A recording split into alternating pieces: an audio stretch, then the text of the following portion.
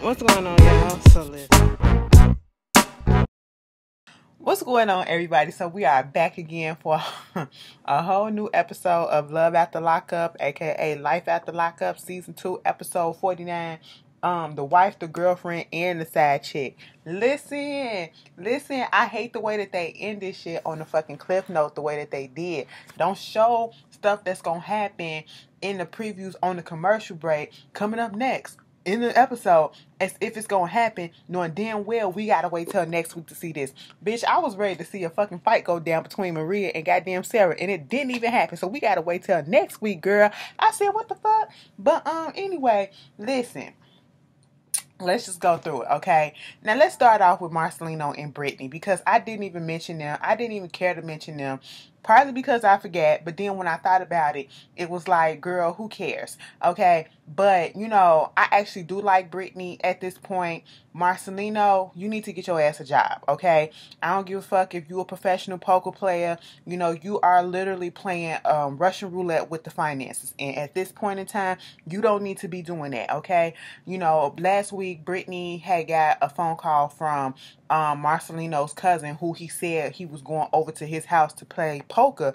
And come to find out, Marcelino was seeing a poker coach, okay, to hone his skills, you know, get back, you know, um, fix his skills up or whatever, sharpen them up a little bit since he been on a down street, Okay. And so because of this, Brittany don't know where he's at. All she know is where he's not.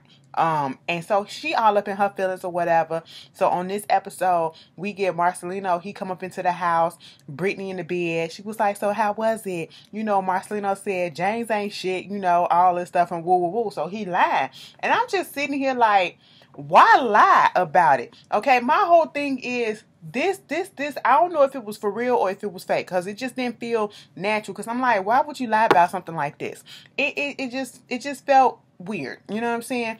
He go drink his beer, he go to bed. Brittany wakes up, you know, and pours beer all over him or whatever after she done took the kids and, and, and to her mama house.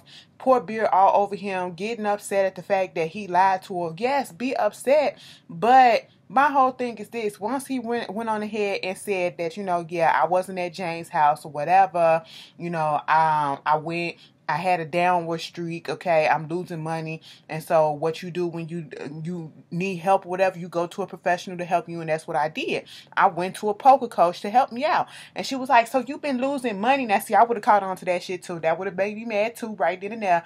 But my whole thing is this: if you're gonna take if you're gonna leave with something out and you're not gonna necessarily tell the whole truth, and it's not really telling the truth, he didn't really lie. He just didn't tell her what was going on, but he did lie about where he was going with the James situation when he was going to the poker coach. Okay, and my thing about that is why not just tell her that I'm gonna go to a poker coach right quick? Okay, why you have to lie and say you was going to an actual game? You ain't even um, you know, cause no matter if you on the up street or down street, you should still be trying to um, you know, sharpen up your skills or whatever. So I was like, she probably would have been like, okay, cool, whatever. She probably would have had a little attitude because she would have wanted you at home. But why you had to lie about going there? I that's why I was like, what is this? What is this? Is y'all faking the storyline right about now? Cause I don't know.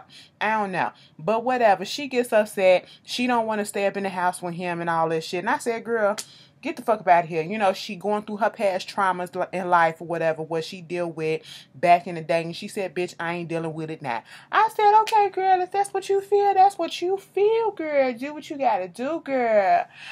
Anyway, moving on from that, let's get to Clint and goddamn Tracy. Okay. Listen, somebody sent me some shit with Clint. I don't know if it was really him, supposedly a Facebook, you know, post of him um cussing out Tracy and all this shit, you know, just calling her all out, you know, being a meth head and all this shit or whatever.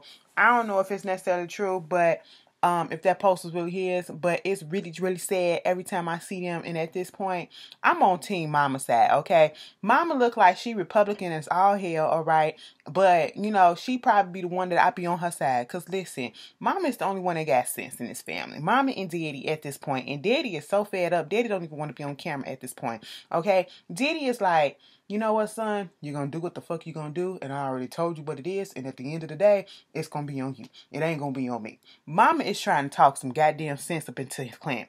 Clint is over there at the house, you know, um, talking about Tracy ain't been there for the past couple of days or whatever, you know, um, he was like, I just don't know what's going to happen.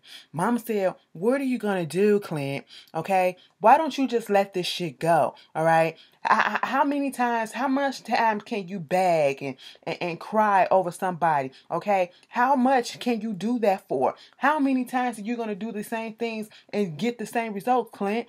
I, I, I just can't keep on doing it. And then at one point, Mama said if he picks this girl over them, you know, over his sanity and all this shit, she gonna have to fucking back away from the relationship. And to be quite honest, some may think that's a little bit harsh and that Mama doing too much, but Mama sees what the must, the fuck shit is going on. Okay, you are dealing with an addict that is not ready to change her ways at this point, and she is bringing turmoil in, into your son's life. Anybody would be protective over their child like this when they see that they're going through unnecessary bullshit when they don't have to because their heart wants what their heart wants, okay?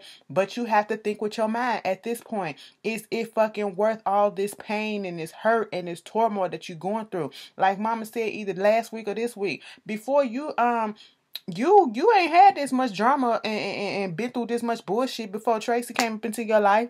And he was like, you know what, you right, you right, you right.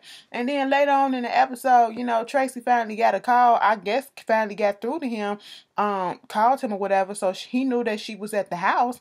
And, you know, She's talking to his mom, talking about some of this, and I'm finna go to the crib. I gotta check on the dog, gotta check on the cat. You know, the cat just like y'all left me in the middle of all this bullshit. the cat is just fed up. Get the cat up out of there, okay? Cat, call animal cruelty because I don't know. I, I'm scared for the cat. I don't even like cats, okay? Uh, call animal cruelty or whatever. Get Peter on the line and get that cat to safety, okay? Because mm, mm, mm, mm, mm that cat has witnessed some stuff that she he or she should not have witnessed okay? You know we need to think about the safety of the animals. You know they go up for animals more than they go up for humans but you know what i'm saying? We need to think about their safety all right? But uh mama said Mama said you want uh cause cause Clint said listen mama can you take me over there? I need a ride. You know um Tracy didn't reach out and all that shit but really what I need to do is to go check on the cat okay? That's what I really need to do Mama said, bitch, first the fuck off, no. she said, listen, that's enabling, okay? And I'm not about to enable you anymore. All right. You trying to get a ride from me. You want to go over there and you want to go see that girl. You trying to disguise it as checking it on the animals, all right? No, you want to go over there and see that bitch. That's what you want to do. And it ain't finna happen right about now, okay? I'm not about to enable you. You're going to have to find somewhere else to go. You're going to have to find another way to get that bitch, okay? But, and this is only because Tracy still got his car, okay? Mama was not having it this episode. He go over there to the house and he can't even get into the damn door. He talking about how, bitch, I hear the dryer um um going up in the house, bitch. I know you up in there. Open up the fucking door. I said, Clint, where your keys at? She changed the locks on you? Tracy, what's going on? It is a lot. It is a lot. Y'all need to get that shit together and get up off this TV. Anyway, moving on from that, Tony and goddamn Angela. Woo, bitch. Girl, let me tell you something. Out of this, we get we got like three threesomes on here. Okay, what is with this group activity that's happening? Okay, we got three threesomes. We got Tony, Angela, and Tommy. We got Lacey, Shane, and John, and then we got Megan, Sarah, and um. Well, that's a foursome now because Maria in the mix and Michael. Bitch, fuck that. We got group sex going on up in this bitch. But um, anyway. but now Tony and goddamn um um Angela. So they getting ready to go to the store. Angela, listen, girl. Mm-mm. You got your new boo, your new flame, the one that got your heart, and you got your best friend who wants your heart going to the store shopping with each other Bitch, it wouldn't be me. Okay, it wouldn't be me. I said, Angela, you really thought that this was gonna work? Cause you know that Tommy is a good dude. You know Tommy is the dude, technically speaking, that he should be with you. And to be quite honest, Tommy, you deserve so much better than Angela. You really do. Your soulmate is out there waiting on your ass. Okay, they go to the store, um, dress store, trying to get him a suit or whatever. And I was sitting here like, oh, you gonna trust his judgment, Tony? Okay, and at this point, Tony don't even like Tommy because of their first meeting and all that shit. So they up there talking, they go getting dressed and all this shit. He come out in a white suit, and this is for the wedding, talking about something. I don't need no shoes, whatever, because we getting married on the beach and all that shit. I was like, whatever, Tony. Okay. And then Tommy took it upon himself because Tommy is fed the fuck up. I said, Tommy, Tommy, you finna give us one? You finna give us one? Tommy said, yeah, bitch. Hold the fuck on. Let me show this shit how I do it. Okay, let me tell you something. At the end of the day, you know I really don't fuck with you like that. But let me tell you what I did. You know I um proposed to Angela before. Okay, I really did. Tony face was like, bitch, what? Um, motherfucker, what you just say? Yeah, I proposed to her before. I mean, she said no, but you know, the shit was out there. Okay, this ain't the first time she been proposed to whatever. You know what I'm saying? And you already know how I feel about you. When was this? Oh, it, it, it was before you or whatever. No, no, it can't be because we've been fucking around for like two years or whatever. Okay, so when was this? When was this? It was like, you know, she knew about you. I knew about you. It is what it is. Okay, what you gonna do? Because I do anything, you know, for Angela to make sure she alright. You know what I'm saying? T- Tommy made sure to tell us, bitch, if it comes down to it, he knows how to fucking defend himself. I said, oh, Tommy, Tommy, you ready to fight for your love for your Angela? Ah, that bitch won't fight for you, but boo boo, I like you. You will stand up for your woman. I like that. I said, Tommy, mm, okay. I said, Angela, you missing out. You missing out. Okay, how the fuck Angela got two niggas? She got two dudes fighting over her, bitch. I can't even get one. Girl, what the fuck? what the fuck? Girl, what am I doing wrong? Angela, teach me. Okay, teach me how. But anyway, um, at the same time, um, he was like, basically, I beat your ass if I had to. If we want to fight, we can fight. We can scrap, you know, because I do whatever I got to do to protect Angela. And he said something along the line that made Tony said, so, um, you up here t- saying this shit like you, you ever killed a person? And then Tommy was like, "No, I never killed a person." And he said, "Okay, don't say what you can't do until you um, know how that feel."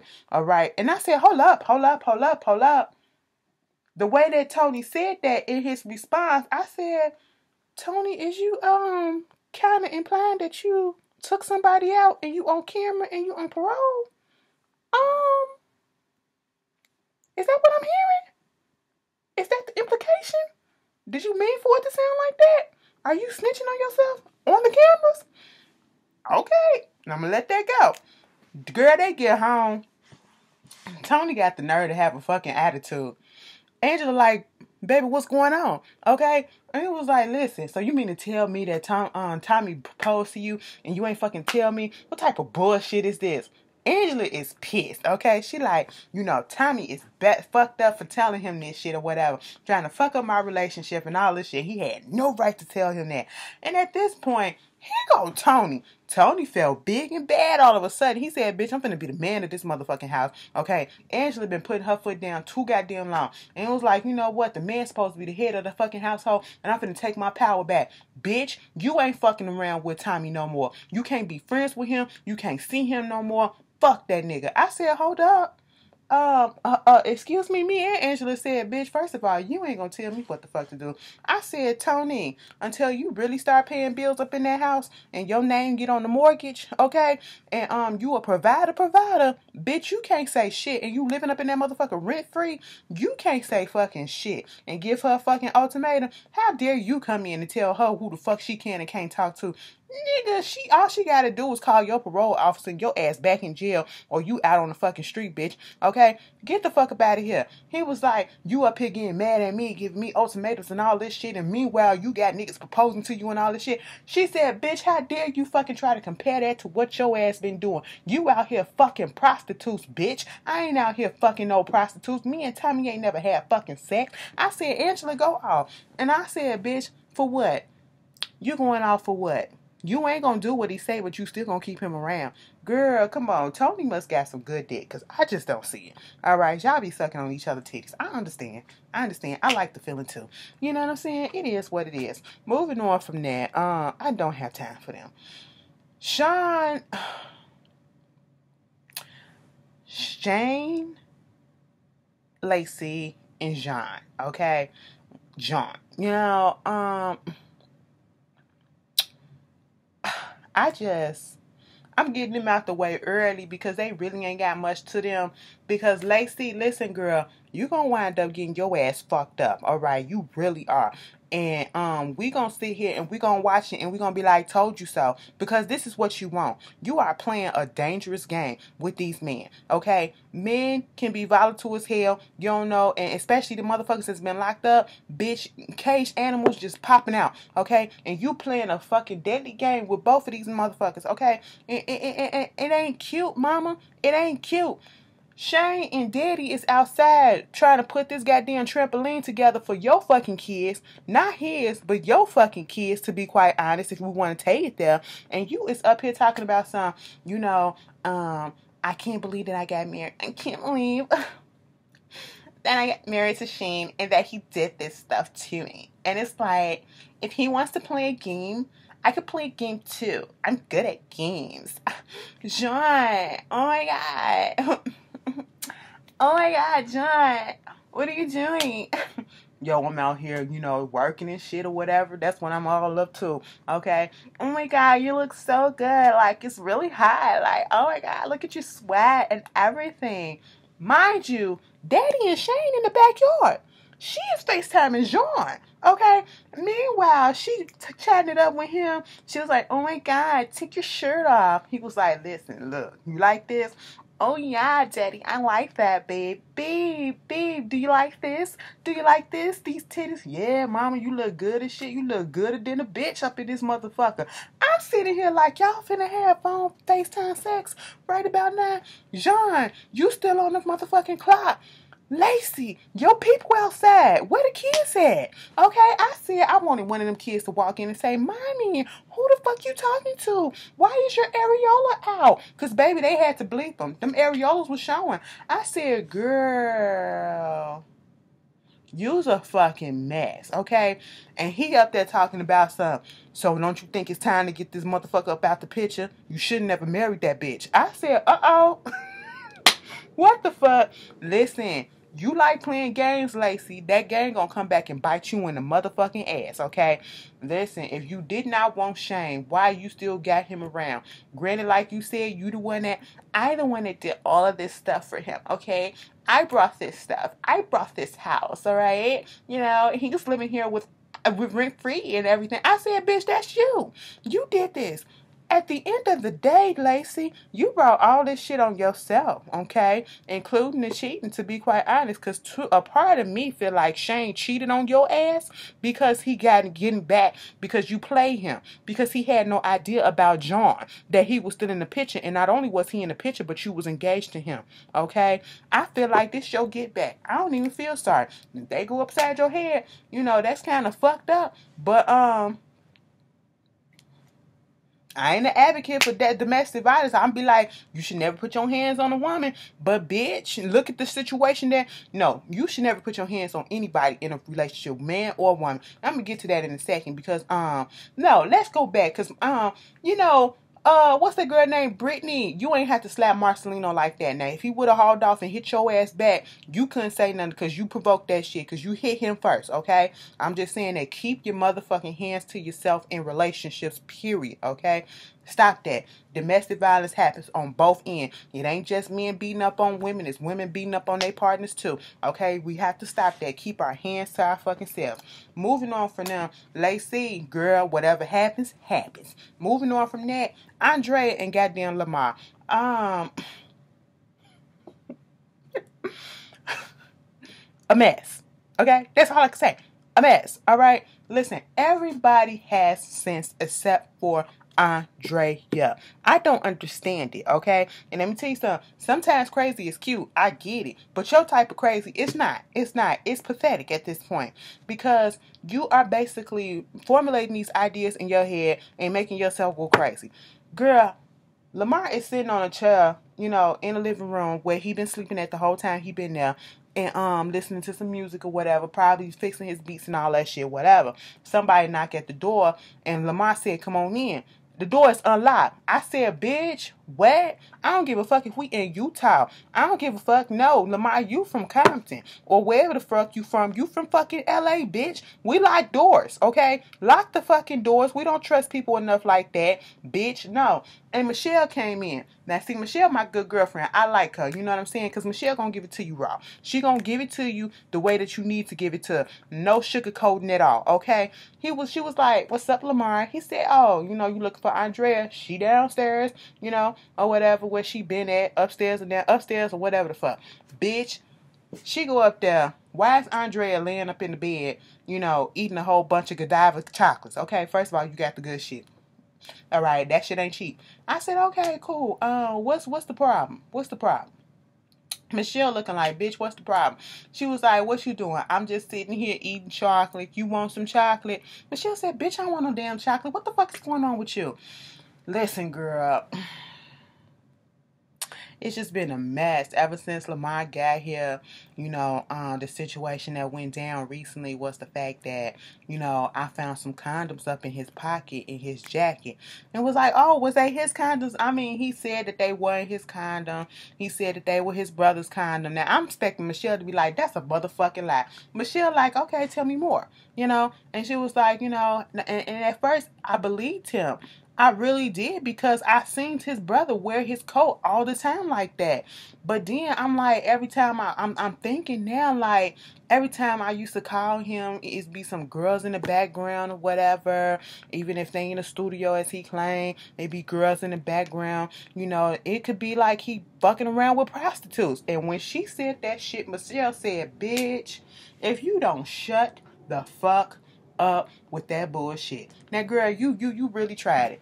First, you said you believed him. Now you saying it's some he might be fucking around with prostitutes. Girl, that man ain't doing shit. Okay, he ain't fucking around on you or nothing. I said, oh, I like the way Michelle came to Lamar A, and it wasn't necessarily that she was coming to his side. It's just that she know her friend is full of shit. She even said, um, Andrea is the type of bitch that'll just formulate and let her imagination run fucking wild and formulate all these situations and do extra shit. Okay, Michelle goes downstairs to talk to Lamar. You love her? Did you cheat on her? Yes, I love her. No, I never cheated on her, and I just want my family back. She was he, she was like, I don't know how y'all doing this separate shit. Okay, you can't have no family like that. I know, I know, and I just want my family back. That's all I want.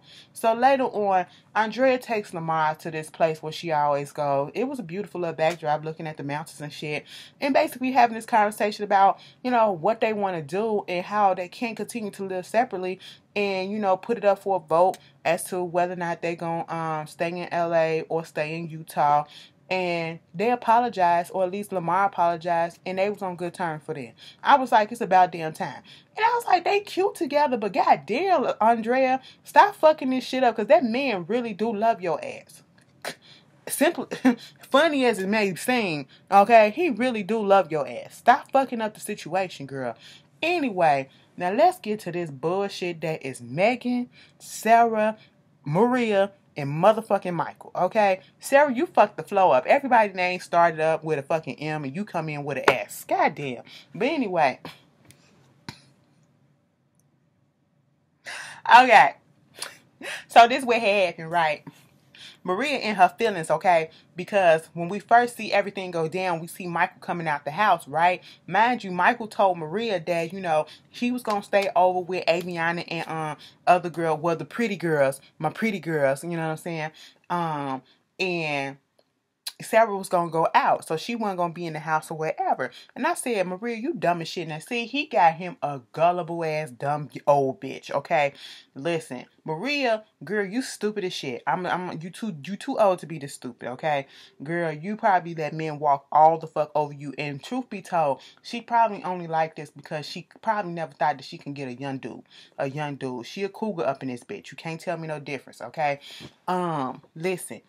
Michael come out the house. It's eleven thirty the next day. Okay, mind you, he told Maria that he was gonna be back before then. Okay, Maria calling and all this stuff, and then when he finally get to the hotel, Maria upset. Why the fuck you ain't called me? Okay, listen, I know you seen my phone calls, you seen my text messages. It's almost twelve o'clock in the uh, afternoon, and you just not getting back. Why the fuck you didn't call me, babe? You know, shit was down or whatever, and I, I mean, I seen your text and all that stuff, but I didn't know that you really called me and all that shit until I went to get the Uber and everything.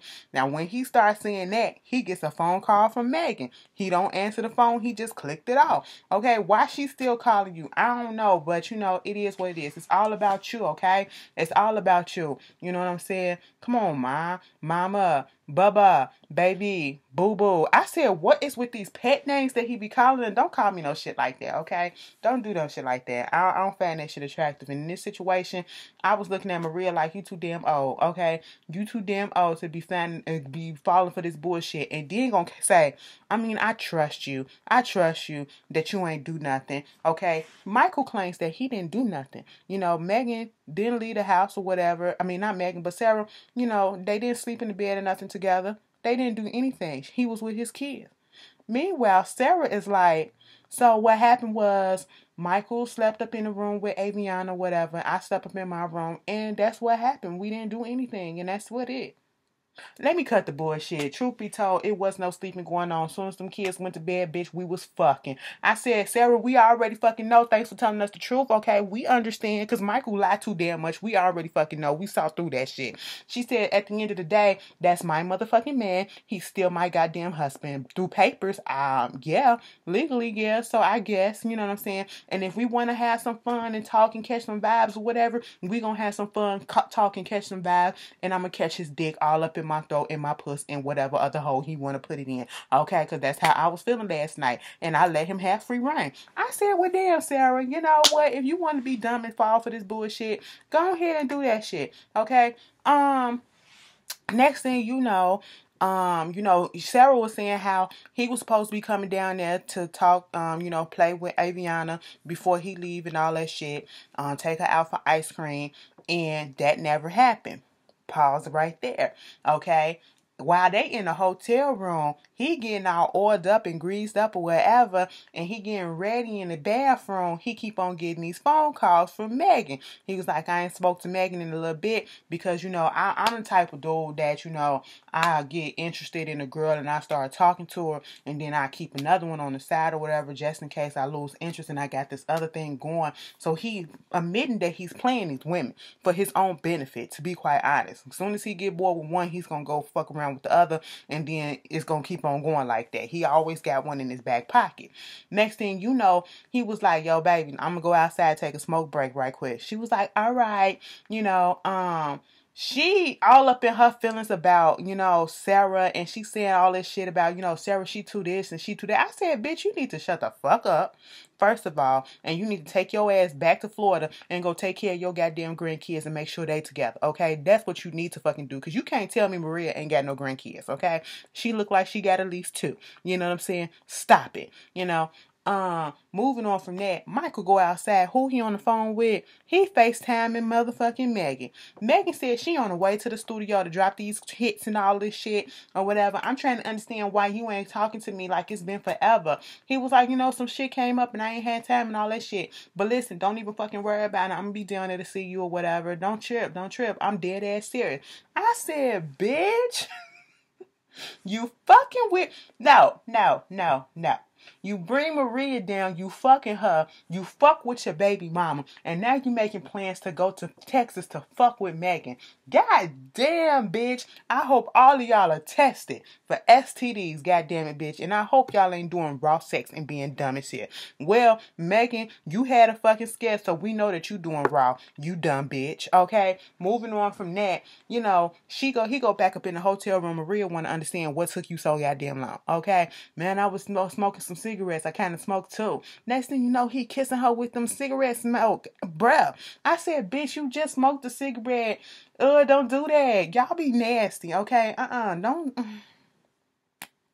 Don't do that shit because I don't want to. Uh, like your tongue gonna be up in my mouth anyway. I'm gonna be tasting your flu. Girl, no, I don't want that shit. That's nasty. Okay, you only shotgun me with some weed, and then we can go from there. But nicotine from the cigarette, that's nasty as fuck. Okay, don't do no shit like that. If I can't get no rush from it, and I can't get high off of it, don't do no shit like that with me. Okay, that's disgusting.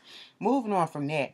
Sarah is up in her feelings, okay? Because it's later on that night. You know, Michael told um, Maria, so what we're going to do is, you know, we're going to kick it, and then I'm going to take you home. We're going to go to the airport. You're going to go home. I'm going to go back down to Michigan, get some things, you know, figured out and all that shit. And then, you know, I, I talk to you and see what's up, okay? You go home. She was like, okay, Danny, you know. Sarah took it upon herself to come down there to the hotel because Michael didn't show up. Sarah, bitch, if that's what you want to use, bitch, you wanted to be fucking messy and you wanted to see who the fuck this bitch is that Michael was fucking around with. That's all that it was. Now, Sarah just so happened to pull up in the parking lot and conveniently the producers told goddamn Michael and Maria to go outside at this particular moment.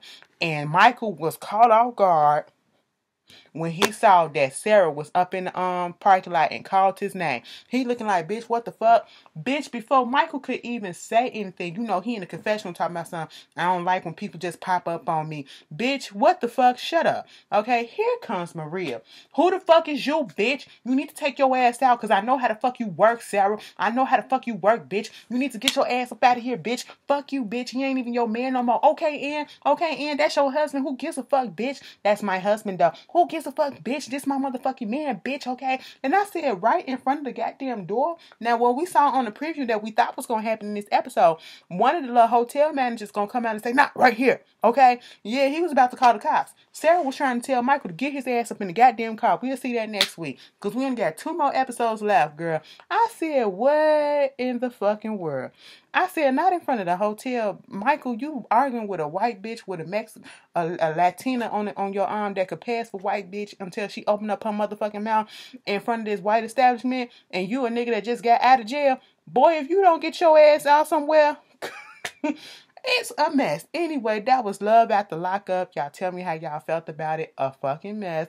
Uh, hopefully these next two episodes give us everything we fucking want mm, and, and, and need and then some, okay? Because they said it's going to be explosive. It better be explosive, all right? Because I'm looking forward to it. Y'all tell me how y'all feel, and I will see you guys later. Peace.